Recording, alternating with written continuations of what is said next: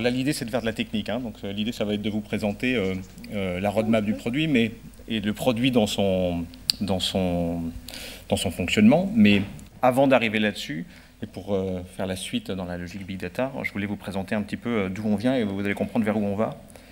Et, comment OpenSearch va rentrer dans une, dans une étape maintenant qui va être très intéressante euh, d'intégrer et sur lequel il y a des choses à, construire et sur lequel vous allez pouvoir participer activement.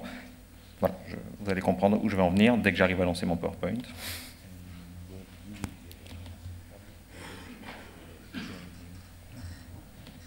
Et c'est là où le, mirroring ne marche plus.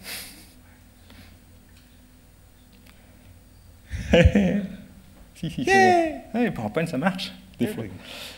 Ok. Euh, alors, je vais commencer moi aussi par poser des questions. Euh, combien de personnes ici connaissent Open Source Server? Est-ce que vous pouvez lever le bras? Je le lève parce que montre l'exemple. Je vois deux de la compagnie. D'accord. ça montre qu'il y a encore du travail à faire, hein, donc ça, justifie ma présence ici. Bah, bravo pour ceux qui nous ont identifiés et qui nous ont testés. Puis euh, bah, les autres, c'est super. Vous allez découvrir euh, aujourd'hui un produit très proche de produits que vous utilisez également aujourd'hui, comme Elasticsearch, MongoDB, Solar, etc.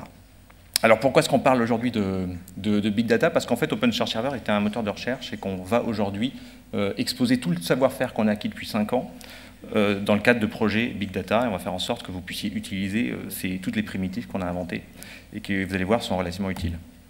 Bon, c'est une présentation un peu, globale. Vous, trouvez l'équipe d'OpenSearch Server ensuite ici si vous avez besoin de poser des questions. Emmanuel est là aussi, Hugues est avec nous.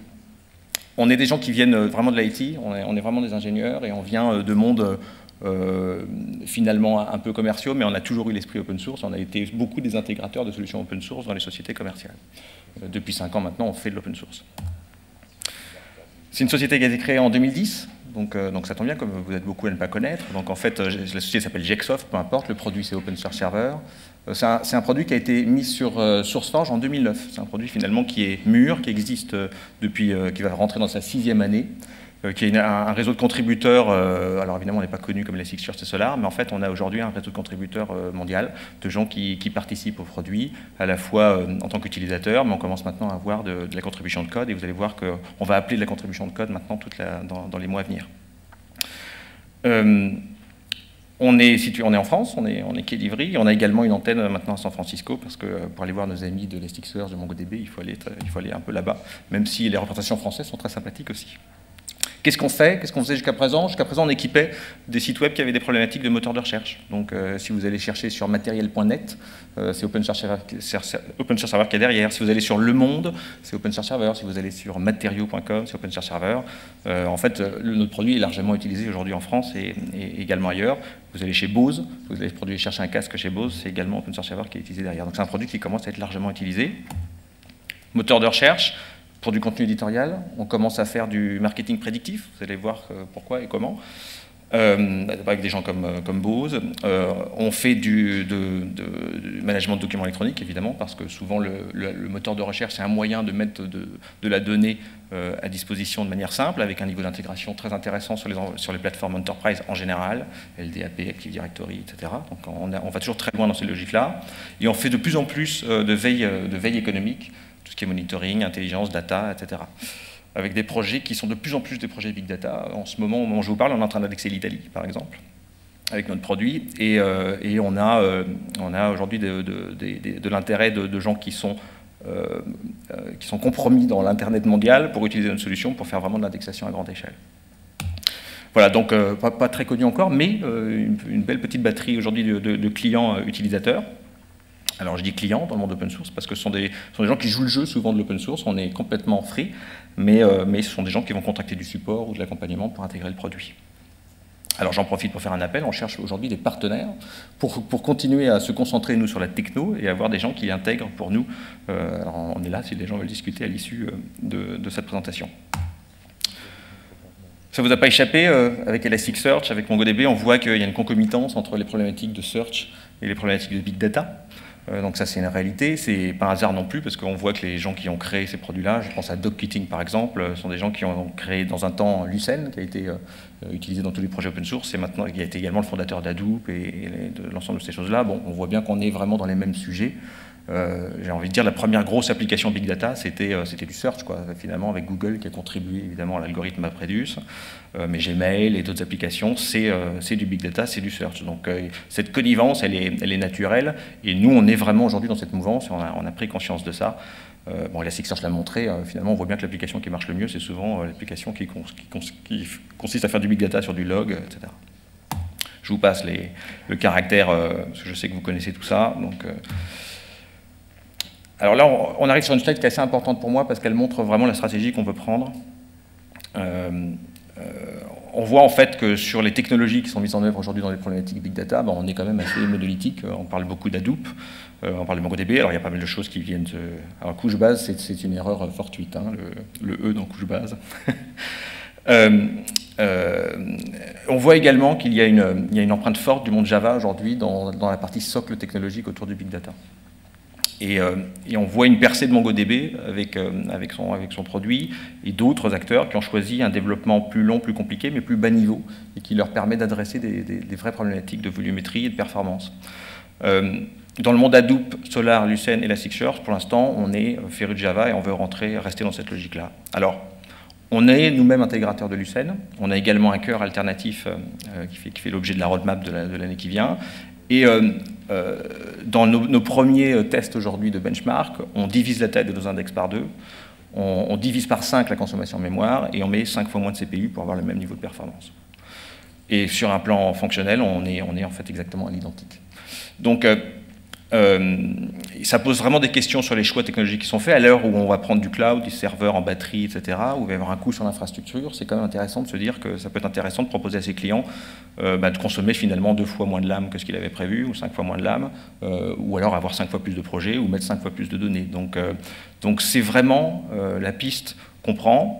Donc vous voyez le, caractère monolithique un peu des produits, je suis Java, je suis C, alors je, parle de la partie infra évidemment, euh, notre politique à nous aujourd'hui, c'est de continuer euh, ce qu'on a commencé, c'est-à-dire mettre en œuvre une plateforme qui soit une plateforme hybride dans laquelle on, utilise les meilleures technologies adaptées à chaque usage. Donc euh, l'index inversé, le vector space model, c'est du C. aller se connecter sur, sur Active Directory, ça va être du Java. voilà, on va choisir chaque fois les briques qui nous semblent les plus intéressantes par rapport à une problématique de performance. Euh, quand on va intégrer Unspell, on va utiliser la librairie native d'Unspell pour aller plus vite dans la proposition de suggestions ou les corrections orthographiques ou des choses comme ça. Donc euh, on n'est pas du tout dans une chapelle euh, Java, on essaye plutôt d'utiliser le meilleur des mondes à chaque fois et de produire le produit qui soit le, plus performant possible. C'est la stratégie, c'est un peu l'élément différenciant. On appelle ça OpenSearch Server 2.0. Voilà, OpenSearch Server, OpenSearch Server c'est tout ça. Donc OpenSearch Server, c'est un ensemble de briques qu'on a construit au fur et à mesure des projets clients. Euh, historiquement, moi j'étais commiteur Solar en 2006-2007, au tout début, quand Unixel est démarré, et puis j'ai abandonné le bateau parce que, euh, parce que mes contributions mettaient euh, des fois 6-7 mois à, intégrer le code source, et puis, puis cette politique pure Java me posait problème. Moi je voulais que mes copains PHP à l'époque puissent également utiliser le produit sans avoir besoin de savoir qu'il fallait mettre XMX et XMS dans la ligne de commande. Bon, je voulais rentrer sur un produit qui soit mieux industrialisé. Donc c'est comme ça qu'OpenSearch Server est né. Le premier besoin c'était crawl web. Donc on a fait un, web crawler.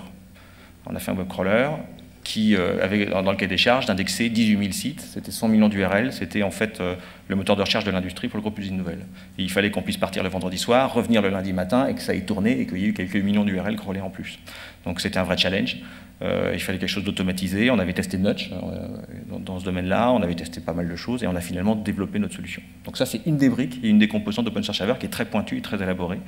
Euh, dans lequel on a intégré plein d'autres composants open source que vous connaissez, qui sont très utiles, des choses comme Selenium, euh, toutes les librairies euh, de, correction de l'HTML, les NecoHTML, les TD, les JSOUP, etc. sont intégrés dans le produit, et, vous pouvez ensuite en avoir une utilisation, vous allez voir que c'est très intéressant. Crawl de file system, crawl un file system, oui, mais avec les droits, euh, avec une interconnexion avec les LDAP, avec, euh, avec crawler les droits dans un, dans un index et puis le full text dans l'autre, ce qui permet ensuite de faire une jointure quand on fait la requête. Ah oui, les jointures, euh, c'est une petite spécificité Open Source Server qui nous permet de faire des choses assez marrantes, je vous le montrerai tout à l'heure. Crawler web, crawler de base de données, on a un crawler de web service également qui vous permet, si vous exposez du contenu en REST, bah, de ne pas avoir besoin d'écrire euh, des scripts et directement euh, poser vos, primitives avec du JSON Pass pour aller faire l'intégration. Donc, donc l'idée derrière tout ça, c'est de ne pas tout le temps réinventer la roue, d'avoir un, environnement d'exécution dans lequel vous allez pouvoir pousser un ensemble de choses et, le piloter au travers des API et de l'interface utilisateur. Ça, c'est le crawl, collecte de données, c'était la partie du haut. Ensuite, il y a toute la partie document parseur. Document parseur, c'est l'extraction des données texte. Donc, vous êtes sûrement des utilisateurs de Tika. Euh, ou, des produits similaires. Donc euh, ben, on n'a pas fait les choses différemment, on a fait comme Tika, on allait prendre les librairies euh, qu'on connaît bien fonctionner pour aller extraire du texte, on en a créé quelques-unes, des fois on les a enrichies, des fois on les a patchées, des fois on les a substituées par la version C qui était plus performante, et ça nous donne, ça nous donne un, produit qui est aujourd'hui capable d'aller découvrir un torrent et aller sur le protocole peer-to-peer torrent et aller récupérer les informations du, du son directement sur le réseau peer-to-peer. Donc on va très loin dans cette dynamique-là. Euh, on va interroger les API Google pour avoir le nom et la description, soit tout le monde le sait faire, c'est le faire, mais ce qui est intéressant, c'est que c'est intégré dans l'outil, et donc ça vous permet bah, de ne pas avoir besoin, encore une fois, de réimplémenter des choses qui sont connues, et également d'avoir euh, une maintenance, parce que nous, on assure la maintenance de tout ça et on fait en sorte que ça continue de fonctionner dans le temps. Donc ça aussi, euh, quand Google met à jour son API, bah, on met à jour, nous, notre produit pour que vous puissiez continuer de fonctionner sans avoir besoin de faire cette mise à jour. Donc ça, c'est un petit peu le challenge, toute, toute partie document parseur. Euh, et ça s'enrichit en permanence. Donc extraire de documents HTML, Office, PDF, OCR, oui il l'OCR, évidemment on travaille tout ça dans un environnement open source, donc on travaille avec Tesseract OCR, on travaille avec un ensemble de composants additionnels qui sont intégrés dans le produit. Ensuite, tout ça rentre euh, dans la partie brique analyse. Donc euh, là-dessus, on attaque tout ce que vous connaissez dans le monde Lucene, qui sont les, tokenizers, les filtres, qui vont permettre d'appliquer de la lématisation. là aussi, on a des, petits faits d'armes un peu sympathiques. on gère très bien les synonymes d'expression. Euh, on a un, des clients, un client un jour qui nous a dit ben, Moi j'ai un problème avec Lucene, c'est que quand je tape coussin gonflable et que je voudrais que ce soit un, que ce soit un synonyme d'airbag, ça ne fonctionne pas, j'arrive pas à le faire fonctionner. Ou bien euh, si je rajoute, euh, si je rajoute un, nouveau couple de synonymes, je suis obligé de réindexer l'intégralité de mon contenu. bon, donc tout ça, c'est des problématiques auxquelles on a répondu et sur lesquelles on a travaillé et sur lesquelles aujourd'hui vous gérez vos listes de synonymes, elles sont prises en compte immédiatement, vous n'avez pas besoin de réindexer vos datas pour en bénéficier, y compris sur des synonymes d'expression. Ça paraît des trucs tout bêtes, mais c'est typiquement les cas de figure que vous allez rencontrer dans un environnement euh, aujourd'hui euh, Lucene, et sur lequel ben, nous, dans, le cadre des réalisations euh, concrètes auprès des clients, on a, on a trouvé les, les add-ons nécessaires, on les a développés. Là-dessus, vous allez faire de la recherche d'entités nommées, vous allez faire de la linguistique, vous allez faire du natif bayésien, vous allez, faire, vous allez avoir tout un ensemble de primitives disponibles pour, pour soumettre vos données à l'ensemble de ces mécanismes. On met ça dans des index. Alors, on met ça dans deux types d'index. Aujourd'hui, on a les index Lucene, et puis on a notre cœur en C aujourd'hui avec le, avec, le, avec le nouveau moteur et avec le, nouvel index. Fonctionnellement, ça ne change rien. Euh, ça se traduit juste par euh, une jauge un petit peu plus basse euh, sur l'ensemble de votre environnement technique. Et puis ensuite, ben, on requête tout ça. Donc évidemment, ça ne suffit pas d'aller stocker les données. Euh, il faut également les interroger. Donc, euh, on a écrit toute une partie requêtage. Là aussi, on est allé relativement loin en intégrant des jointures. Donc vous, pouvez faire chez nous du relationnel. Vous, n'êtes pas obligé de mettre à plat euh, vos données, vous n'êtes pas obligé de mettre l'ensemble de vos clés étrangères à plat dans l'index. Vous pouvez avoir un index des droits, un index de l'indexation full text et faire une requête de jointure. Et ce sera performant. Matériaux.net dont je parlais tout à l'heure, ils ont un catalogue de 50 000 produits, ils ont un tarif par code INSEE parce que ça dépend de la, distance euh, euh, aux fournisseurs, ce qui, ce, qui, leur mettait à plat 300 millions d'entrées pour les prix. Donc avant qu'on arrive, ils n'étaient pas capables de proposer à leurs clients de chercher un produit et de le classer par prix croissant ou décroissant, ce qui sur un site e-commerce n'est pas terrible. Euh, bon voilà, donc c'est typiquement le cas d'usage que vous allez trouver avec, avec ces jointures et il y en a plein d'autres. Tout ça s'interface en API REST. Donc euh, on est en train de, combler le gap, puisqu'au départ on était parti sur une interface utilisateur, on a compris que ce n'était pas forcément le meilleur moyen d'utiliser le produit, donc euh, peu à peu on rajoute l'ensemble des API qui permettent de tout piloter via les API. Donc je vais vous en présenter quelques-unes aujourd'hui. Voilà, on peut faire un Google Like très vite, on a fait un petit moteur de rendu, on a des librairies clientes en PHP, en Ruby, en Perl, en Zoop, avec Python, on, a du code, on veut-tu en voilà pour, tout type d'intégration. A priori, c'est un, produit qu'on intègre très facilement. Euh, le monde, on a, fait l'intégration du produit en, en 4 jours. Hein. En 4 jours, on était, euh, en prod euh, sur, un, cluster de 3 machines. Il n'y en a d'ailleurs qu'une qui travaille, mais les deux autres sont en failover. voilà, voilà le produit. Alors, est-ce que, est que y a certains d'entre vous veulent suivre la, présentation, le télécharger, le tester? Est-ce qu'il y a des gens qui vont faire ça? Je vais adapter ma présentation en fonction de ça. Donc, s'il y a des gens qui vont le télécharger et le tester, ben, levez la main. J'en vois au moins trois. Ok, bon, on, va, pouvoir le faire, ça va être euh, relativement facile. Alors la première chose, c'est que pour la démo aujourd'hui, ben, il faut aller sur euh, notre serveur FTP, euh, qui n'est pas un FTP d'ailleurs en réalité. Qui est, donc vous allez sur www.opensourceserver.com slash FTP. Les primitives que je vais vous présenter ne sont pas sur la version stable qui est téléchargeable sur le site, mais sur le early, sur le nightly build qui a été, qui a été monté hier soir. Et dans les branches, vous allez voir, il y a différentes branches du logiciel. Celui qui nous intéresse aujourd'hui, c'est OpenShift Server 1.5. Et euh, vous avez une liste de builds. Et tout en bas, vous avez le dernier build. Évidemment, chaque fois qu'on commit, euh, bah, il y a un build qui est, fait. On est évidemment en intégration continue. Suivant, euh, alors l'installation d'OSS est extrêmement complexe. une fois que vous avez téléchargé au choix le point deb si vous êtes en environnement Ubuntu Debian, le point RPM en CentOS, euh, ou si vous voulez simplement utiliser le répertoire avec son shell et son batch euh, sous Windows, eh ben, vous récupérez dans ce cas-là le, zip, c'est relativement simple.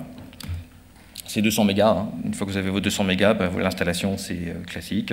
si vous êtes sur Debian Ubuntu, dpkg-i, RPM, etc. Et si vous utilisez la version générique, générique, vous allez simplement dézipper le répertoire et vous utilisez le script de démarrage pour le lancer. Une fois que vous avez fait ça, c'est là où j'ai tenté le. There is a question, Emmanuel. Hein? There is already a question. Yay. 1.5. 1.5. Ouais. Prenez les 1.5. Si vous le faites en live, et, vous auriez des, points bonus. Et, donc, et, ceux qui, qui, qui, essayent de télécharger et vont avoir des points bonus normaux, ceux qui réussissent à le faire tourner auront points bonus platinum. Genre, après, je donnais beaucoup de, bonus platinum. Hein. Alors, moi, je vais prendre le zip. C'est lisible. Hein. Sinon, je peux changer la résolution.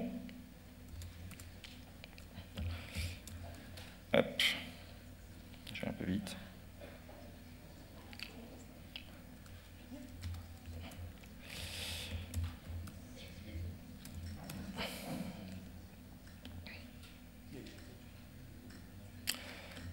Alors la première vision qu'on a Server, bah, c'est tout simplement son interface utilisateur.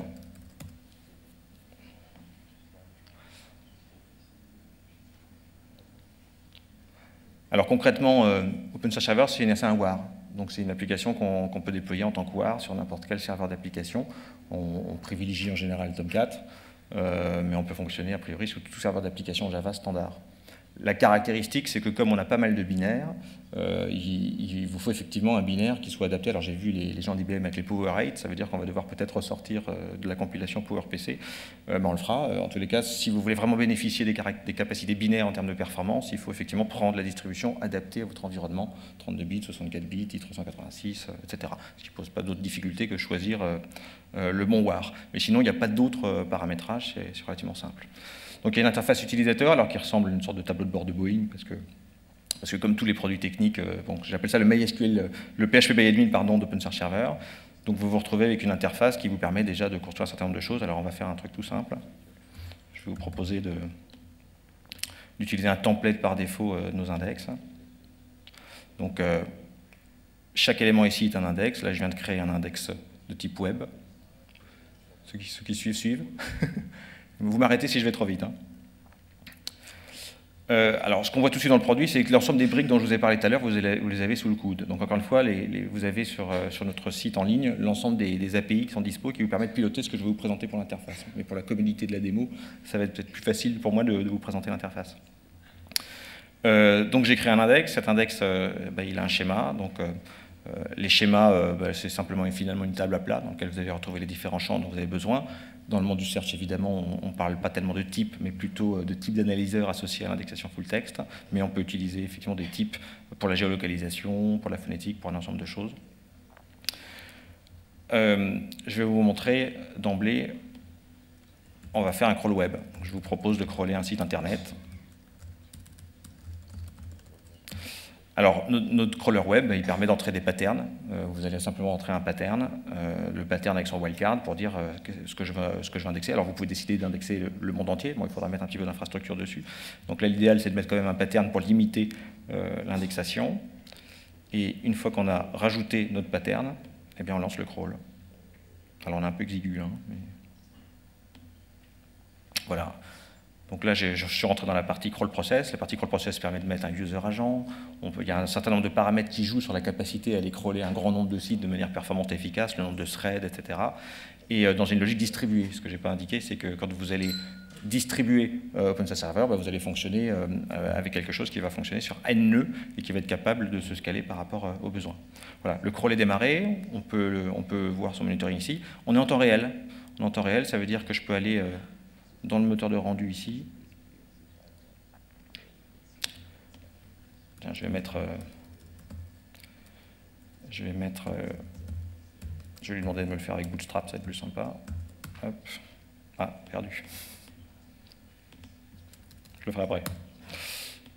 Bon, je peux aller commencer à faire ma recherche. On est, on est dans quelque chose qui est puré, évidemment, parce qu'après, vous pouvez le personnaliser, l'adapter.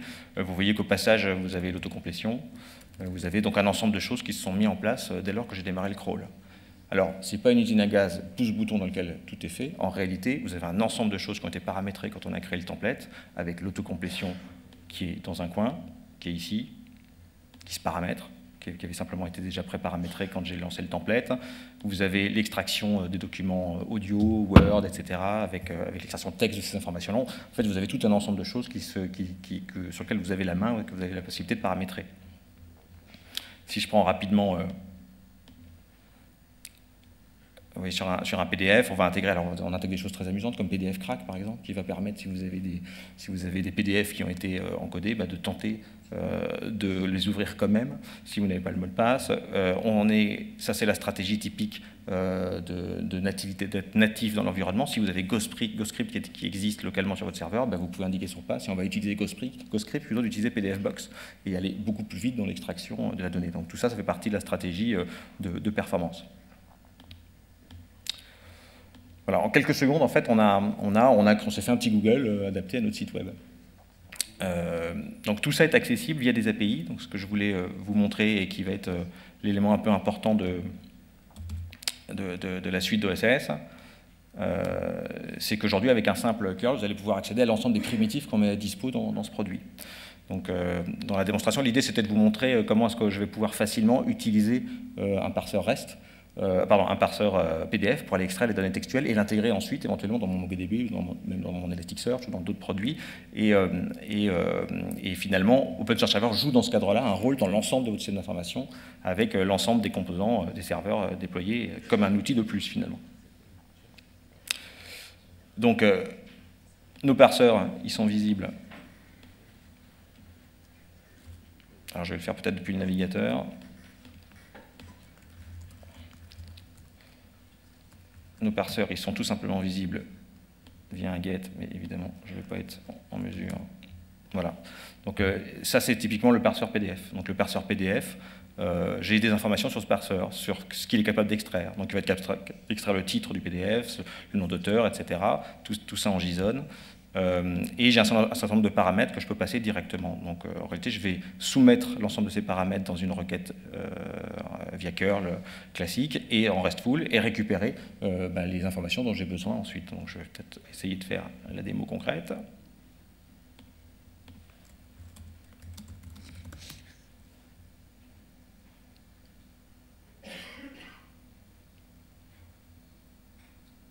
Voilà, typiquement,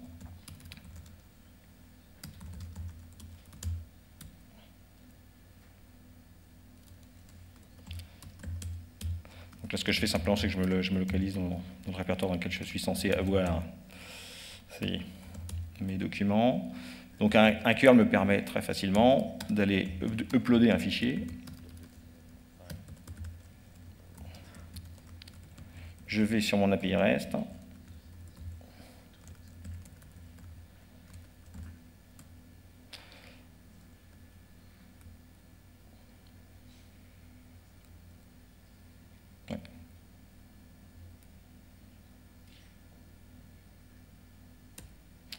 C'est l'effet des mots. Alors.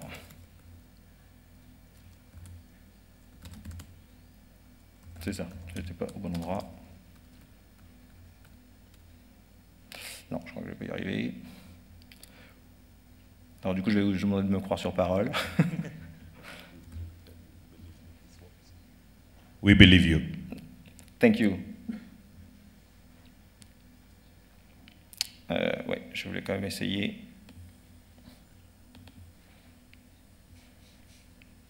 En fait, on n'est jamais sur la bonne connexion Internet et il faudrait plutôt privilégier les, environnements online. Je, vous utilisez, si vous êtes utilisateur d'API de, RESTful, vous utilisez évidemment les, sûrement des outils pour ça. Donc, euh, vous connaissez sûrement Postman qui permet de tester des choses. Donc, euh, typiquement, euh, sur Postman, j'avais un ensemble de primitives qui avaient été construites. Et là, je suis contraint par l'environnement de l'écran. Bon. Ok, donc bon, pour la, démo directe de l'intégration, alors, Concrètement, aujourd'hui, vous aurez euh, sur le site OSS l'ensemble des API documentés, fonctionnels, opérationnels.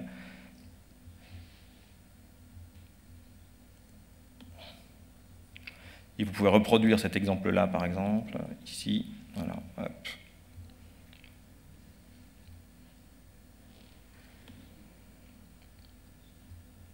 Voilà, sur lequel vous aurez euh, effectivement l'exemple d'appel avec la capacité donc de soumettre vos documents, de récupérer les, extractions de texte.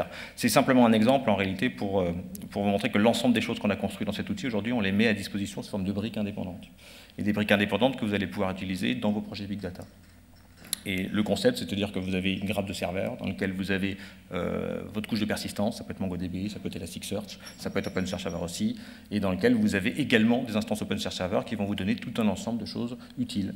Utiles pour faire de la reconnaissance d'entités nommées, utiles pour extraire des données textuelles, comme vous utiliseriez un TICA, euh, euh, utiles pour faire du crawl web, collecter l'information, etc. Dans, exactement dans la même dynamique que celle que vous utilisez avec ces autres outils, c'est-à-dire de l'API RESTful. Euh, et dans un environnement dans lequel vous avez distribué vos serveurs et vous, ne vous préoccupez pas de savoir qui exécute quoi, etc. Donc euh, quelque chose qui est euh, finalement parfaitement scalable.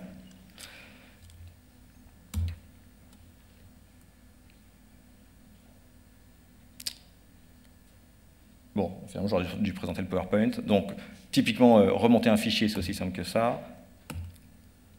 Bon, donc euh, vous allez trouver dans le parsing évidemment tout ce qui est OCR, détection de langage, donc euh, tout ça c'est une présentation et des mots, mais dans la pratique vous allez avoir de la détection automatique de la langue, de l'extraction de liens quand vous récupérez du contenu, est-ce que j'ai trouvé des liens à l'intérieur, euh, les méta-informations évidemment des fichiers images, son, vidéo, tout un ensemble de choses que vous allez pouvoir extraire et utiliser dans l'ensemble de votre référentiel. Je passe sur le reste de la démo. Euh, tout ce qui est lématisation, tout ce qui est linguistique, donc on intègre Snowball, mais pas que Snowball. On intègre Unspell, on intègre d'autres outils qui vous permettent de faire de la linguistique, de la phonétique, et euh, de le faire dans un environnement euh, qui fonctionne vraiment en France, et ce qui n'est pas toujours le cas aujourd'hui des solutions typiquement anglo-saxonnes. Donc là-dessus, c'est intéressant. Donc vous retrouverez également les choses que vous connaissez sûrement de l'environnement Lucene, donc euh, euh, typiquement le déshabillage d'un ensemble de textes pour tirer les caractères diacritiques, pour ne conserver que la partie euh, radicale du mot. Bon, tout ça, ça fait partie des composants qu'il y a dedans. C'est aussi là-dedans que vous allez trouver de la recherche d'entités nommées, toute la partie synonyme, et tout ça accessible donc via, des API. voilà un exemple d'appel API dans lequel on, on, soumet un mot à un analyseur qu'on aura configuré au préalable, également via, via du RESTful.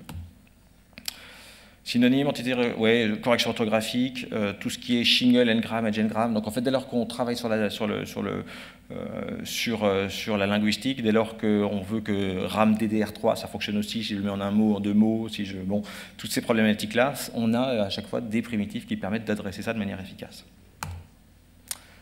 J'arrive au bout du timing. concrètement, OpenSearch Server est un logiciel open source que vous allez pouvoir télécharger, qui est, qui, euh, alors la première annonce que je voulais faire, euh, Ori, je t'ai gardé une, annonce.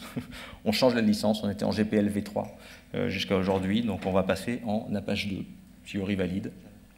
Ça sent bien. Super. Apache 2, ça va Super. Super. Donc OSS passe en Apache 2. L'idée, c'est de complètement bah, que vous soyez à l'aise sur l'intégration de notre produit dans, un, dans quel que soit l'environnement. Euh, donc ça c'est le premier point, donc ce sera effectif à partir de la version 1.6 dont on va sortir l'alpha euh, dans, quelques, jours. Euh, l'autre élément, c'est qu'on désosse le produit, donc vous allez pouvoir l'utiliser que pour du crawl, par exemple. Donc si vous avez des problématiques de crawl, vous aurez l'ensemble des primitifs qui vont permettre de faire que du crawl. du crawl de boîte mail, du crawl de, base de données, du crawl web, du file system, avec la récupération des droits, avec de l'intégration dans l'environnement entreprise classique. On intègre Groovy, donc on va vous donner la possibilité d'aller écrire des scripts en Groovy et de les mettre dans des points d'entrée pour que ce soit directement exécuté euh, proche de la donnée. Donc vous avez uploadé un fichier, on a extrait de la donnée, vous allez pouvoir appliquer un script Groovy avant de, récupérer la donnée. Euh, donc ça c'est un élément important sur lequel on va vous, permettre euh, aujourd'hui de produire du code qu'on va mettre sur le site et sur lequel vous allez pouvoir contribuer et proposer des, des, choses.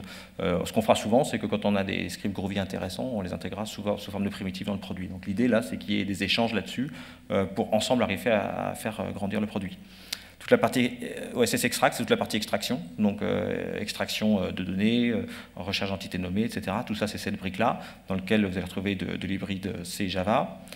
la donnée revient en JSON, mais vous allez également avoir la possibilité d'avoir directement les clients Mongo, Elastic et de pouvoir les pousser directement les données qui ont été traités par OSS pour les pousser directement sur, euh, sur, euh, sur de l'élastique ou sur du Mongo, et, pas que, et sur d'autres environnements. Donc tout ça, c'est des primitives qui vous permettront d'utiliser nos fonctionnalités dans un environnement où vous avez déjà un moteur de recherche, des choses comme ça.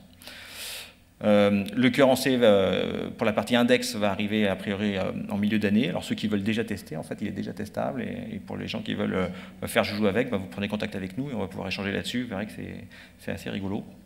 Il n'y a pas d'urgence, c'est quelque chose qu'on sortira officiellement en version stable, a priori en milieu d'année prochaine. Euh, voilà, on a d'autres choses euh, en, réflexion. On se dit qu'on serait intéressant de pousser du SQL au-dessus de tout ça, euh, du R. donc il y a un ensemble de réflexions là-dessus sur lequel on attend pas mal de la communauté et, d'échanger avec, vous sur ces sujets-là. Donc, voilà, OpenStack c'est ça. Produit open source, franco-américain, mais franco à 90%.